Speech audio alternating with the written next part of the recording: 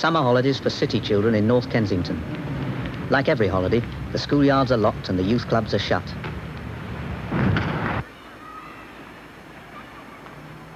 We was playing ball outside a lady's doorstep and she came out and told us to go somewhere else, so that's why we came here. Everywhere we go, it's always trouble, because in the streets, it's always car coming around and lots of children get knocked over. Cities care little for children.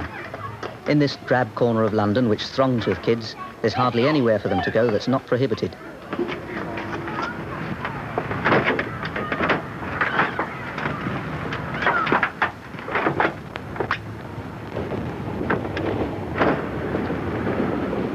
Children need somewhere for adventures. It's an urgent need and must be answered. So people in this neighbourhood are now demanding that the council provide more space for play. Not just a bit of concrete with swings and roundabouts on it, but something better.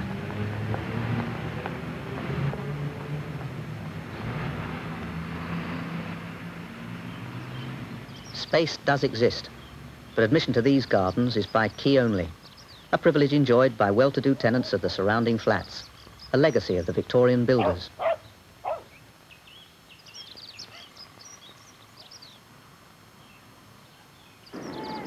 North Kensington is the victim of long years of neglect by the Borough Council. Landlords, too, have sucked it to the bone. Citizens' action groups are everywhere, but most people are cynical and distrustful of politics and have no wish to be involved. But changes must come about, and they're starting with the children. There's now a play programme run on temporary sites by volunteers in holiday time, and it's growing. The oldest, and until recently the only permanent play site, is the Notting Hill Adventure Playground.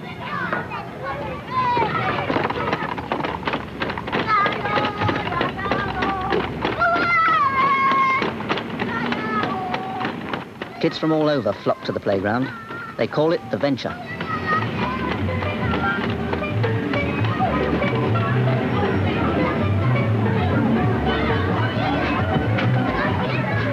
The Venture celebrates the arrival of summer with a carnival and invites its neighbours in.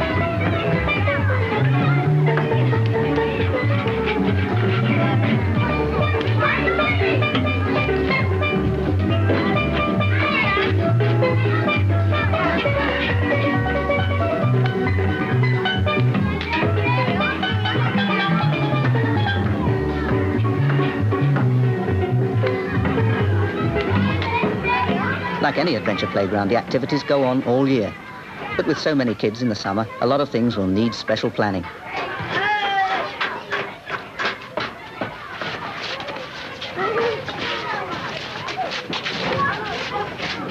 There's also the need to get away altogether. So there'll be weekend camps out in the country. Some children don't expect a holiday away, like Denise. If my mum wins at bingo one day, we might we might go on holiday to Chitta. But if my mum don't win, we come up here. I'm doing some swimming and come to the adventure and build some camps. Have swimming, stand adventure, play football. Uh, football towers. To make the playground bigger. Make it bigger. but take that stupid slow way. We ain't got enough room in here. Indeed, there's very little room. The kids are often harshly critical of what the venture provides, but still they come, regulars almost daily for years. It's a place available to the whole community and provides an evening club for old people and one for teenagers too. I'll get the right way to the. Because it's always open, people tend to treat it as a handy information bureau. They come in with every sort of problem and expect a solution. There's a full-time paid staff of six, led by a play leader. Their main job is to help the kids, working with them at their level, doing what they want to do.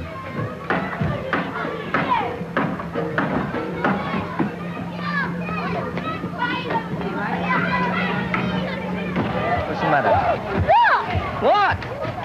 What are you doing? There's a camera, They're listening to you. No, he's listening to you. Keep on following you. Holly had a dolly who was sick, sick, sick. So she phoned for the doctor to come quick, quick, quick. The doctor came with his bag, sandy hat, and he knocked on the door with a rat a tat tat. He looked at the dolly and he shook his head. He said, Miss Part of the venture is set aside for under fives. This playgroup is run by Save the Children Fund.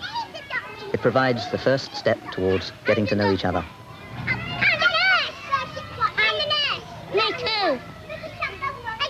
Learning by playing.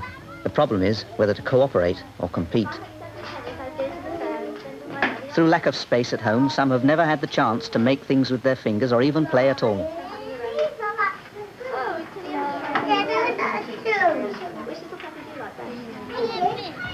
Some parents don't see the need for the messy materials children like, but prefer to buy them expensive, sophisticated toys. They often object if a child wants to bring home something he's made, because there's no room to keep it. The playgroup provides a valuable contact with the mothers who come to collect their children. As a result, some become more interested in what their kids are doing.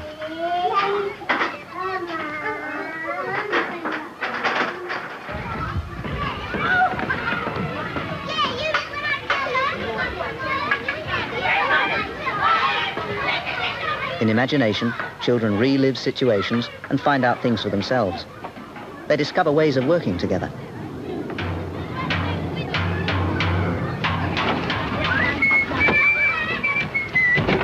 Building a hut, hammering a nail, to a child that's creative.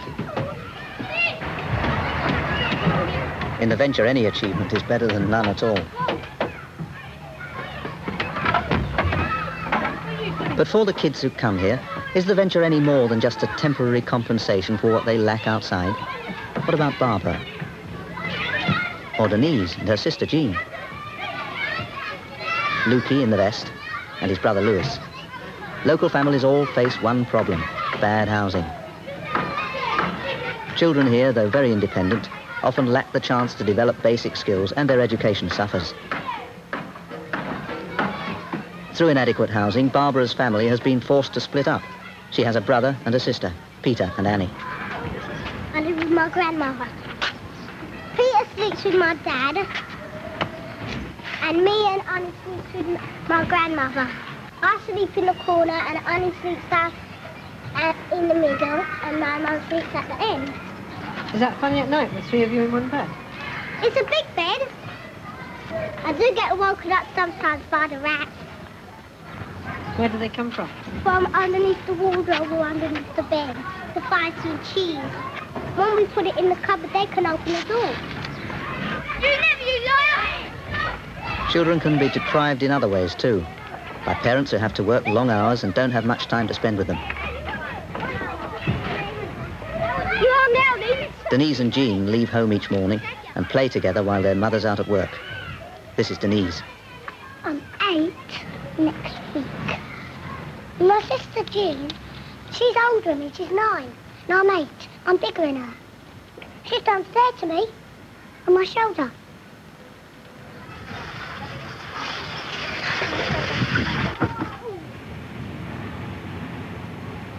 Home for Denise and Jean is a mile away down Portobello Road. They make the journey alone.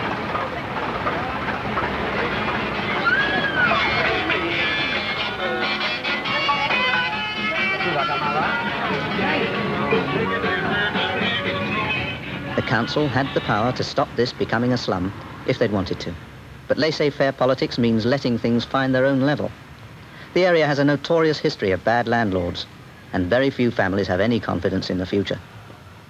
Denise and Jean live here in a rented flat. The house is collapsing. The housing trust, whose property it is, sent the builders round to test the rate of collapse. Denise knows the facts. What's your house like? My house like it's all falling to bits. And the stairs are. There's passage stairs near ours where there's only three flights. And you can't you can't walk ordinarily putting your whole feet down because it's full. You can only tiptoe on that. But what floor are you on? Flat floor. That's dangerous this one. Because there's a hole in the roof.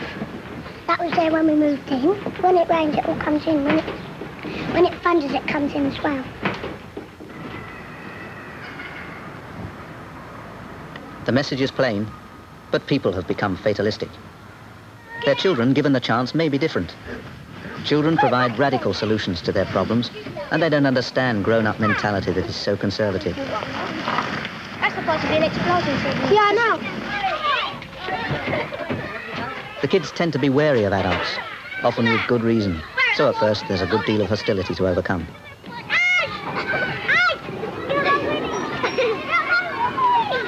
There's plenty of aggro, often deliberately provoked. But at the same time, the conditions are there for real friendship to develop. Kids get to know the staff sometimes better than they know their own parents. So if someone has to leave, it's a matter of genuine concern. Because I wish they never go like Julia, she's gone. And Donald's away. No, I don't like that. And no, I like Julia. Julia's gone gone away to Greece. Yeah. But she's coming back the end of September and she might be coming to see us. It's like making friends. When you make friends, you mean play with them every day, not for the week. When when they go away, you feel so lonely and sad. Comes to me. My friends go away. What? What's he doing? I, I know, I know, don't I? Shop now you go. What's he That's doing? where I work in the shop. Which shop do you work in? Supermarket, supermarket. What do you do there? What are you doing? You're helping them? Put the boxes out. Or you pack up all this, help them pack stuff and take it down again? The challenge for the leader is that conversation is a two-way thing. Kids can ask him questions and find out about him as well as talking themselves. This is a man. His name is John. He's a bank manager. He's ugly, but he's rich. He's got big ears.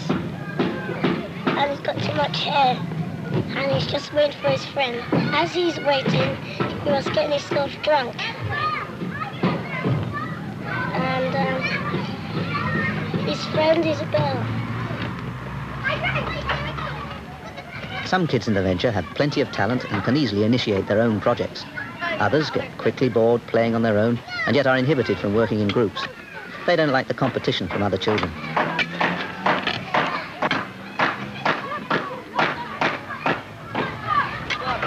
Group work is part of the venture. Kids learn that more can be achieved by working together than by sabotaging each other's efforts. There's more progress that way.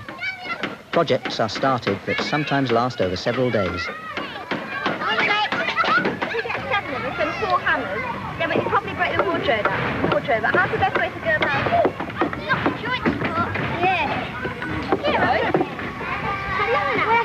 Where's the from nail together? On. Get some good long nails and nail it together. Get your.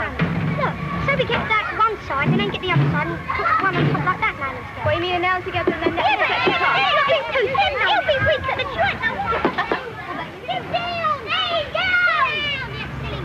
Then you asked us what we wanted to make, and John said a pyramid. And I said, how about having a, a hole in the middle so that we can have a rope like the tower we had before? And it can come down and you can have mattresses at the bottom, you can slide down the rope. All we did now is the hose to put it up. When you work in groups, you know, you start arguing who's going to do this, who's going to do that. But oh, sometimes when you work on your own, you know, you get things done quicker. You couldn't very well do do all this by yourself. Yeah, I. I could, but it took me about three years. But if you work on your own, you start getting bored unless you've got, you've got patience. Okay, pull it a bit more. The atmosphere in the venture has to be free and easy. Bit more. There's only one explicit rule. Enjoy yourself and let others do the same. What happens when people break that rule? You have to be doing something really bad to get told off here. What, happen- what happens if you do get told off? Has anybody ever been put out? Yeah. Yeah. Yeah. Tell me, In a way, tell me what in a happened way, when... he's saying that, uh, they, in a way, he's saying that they uh, ain't controlling us here. You have to do something very bad, he said. he's kind of giving them a bad name. I love smashing bottles. I think that's the best thing. Yeah. Better than chucking stones, smashing windows instead. But I like smashing bottles. We're not allowed to smash bottles, you know? Do you think everybody behaves themselves well in this venture? No. No. Of course I don't. Why? What did you do? Why, I spit. If anybody's chucked out more than three times, that they can't come back no more. That should be the rule. I've been chucked out more than three times. But I come back in there any time I like because my legs. Because it's my, My legs, body, my, myself. my brain, and so I go in where I like. It's free country, no one stop me. So. Most kids do have a strong sense of justice. They need to know that if they are put out, they can come back after a few minutes. To put a child who is difficult back out on the street is no solution. But given the chance, the children will solve their own problems in the end. My dad says if anyone hits me, I must hit them back whether they fight can fight me or not. What, even if they're bigger than you? Yeah. I don't care if you hit me, but I'll still hit you back. When it's really summer day and you're having a fight here, well, they don't let you fight up here. They, they give you boxing gloves and let you go up um, in there, remember? Not, not in a real fight. A real fight, they stop it.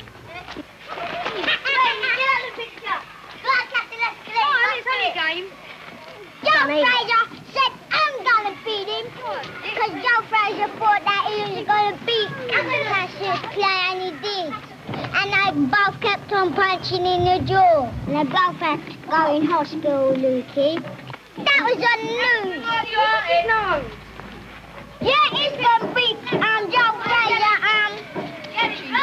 Yeah. Yes, he. I bet ya. Yes, he's. I bet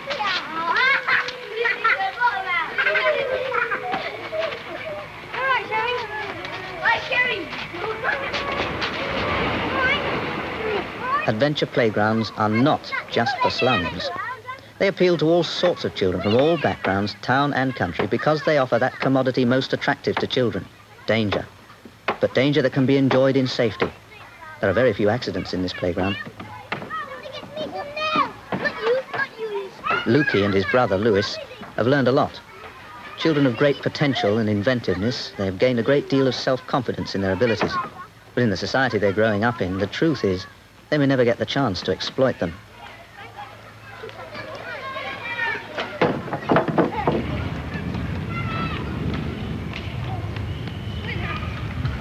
Living just round the corner from the venture, Lewis and Lukey treat it as a second home.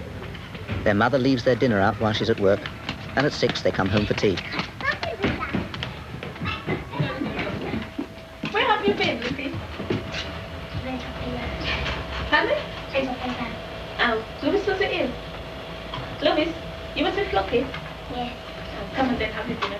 Their mother earns the family income, but her wages only just about feed them. If she needs to buy anything else, it means overtime. Her standard of living has deteriorated in this country, but she hopes her children will have some sort of a future. Louis. Louis, look. Her attitude to the problems of the area is fatalistic. She has no idea how to solve them. She says it's up to the government. It's not her job to be involved. But if things are really going to be changed, parents are going to have to be involved.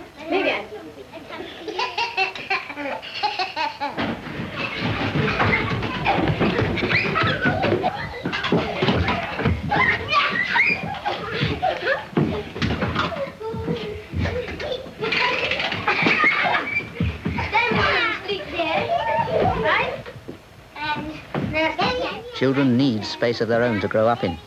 There's none here. Perhaps it matters less while they're young, but what happens as they grow older? He's not sit here. Look at look at sit here, and then two small children sit here. See?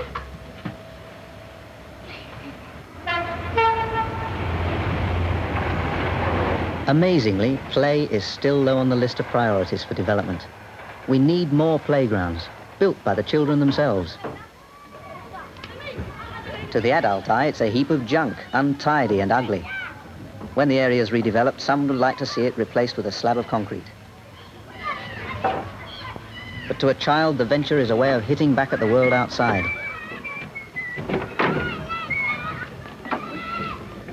What of the future for these children?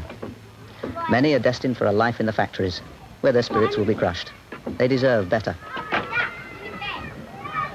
Some now in their teens who have grown up from the playground are disillusioned by what they've found outside and have walked out of the factories that we've sent them to work in. Through frustration, some have left their homes too and have taken to living on the streets. Our society is full of wasted talent because we don't know how to use it. Young people have it, the venture encourages it, but in the end, there's little outlet for it. Playgrounds in themselves cannot alter this, but the children who go there may one day begin to force the change.